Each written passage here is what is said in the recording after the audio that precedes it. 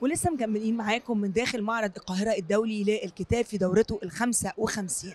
والحقيقة إن إحنا مش معانا بس كاتبة وروائية إنما كمان إحنا معانا مؤسسة جمعية الغارمات واللي بتهتم بالعمل الإنساني بشكل كبير جدا وهي الكاتبة والأستاذة نوال مصطفى.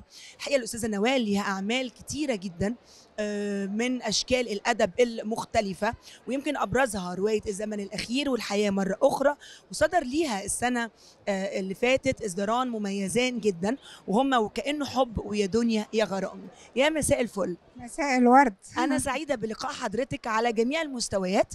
مستوى طبعا الإنساني وهو طبعا تأسيس حضرتك لجمعيه الغريمات وكمان آه، على المستوى الأدبي والروائي. اولا حابة أبارك لحضرتك على مشاركتك في المعرض كمان.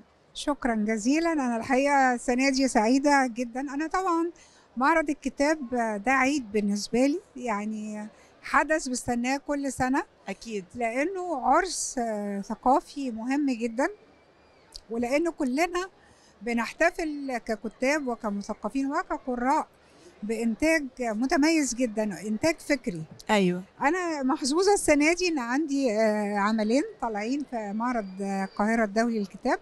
آه، أولهم يا دنيا غرامي من المؤسسة العربية الحديثة. الاسم يجنن. الاسم قريب.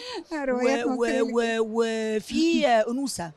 ربنا يخليك. أيوه. ده طبعا تجارب تجارب صحفية وإنسانية عميقة وغنية. حبيت إن أنا أحفظها في كتاب في مؤلف. حتى يستفيد منها الأجيال لأن التجارب الإنسانية أكتر حاجة آه، ممكن الناس تتأثر بيها وتبقى ملهمة لآخرين. طبعا.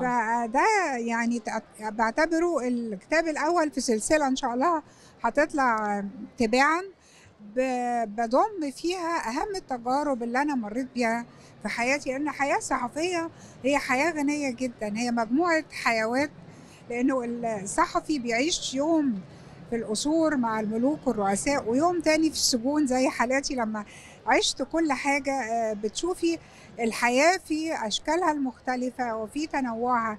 تشوفي البشر في المحنة وفي المجد وفي التألق وفي الألم يعني آه، الصحفي اللي بيعيش آه، فعلا حياته الصحفية صح بتحسي إن هو عايش أكتر من حياة. صحيح.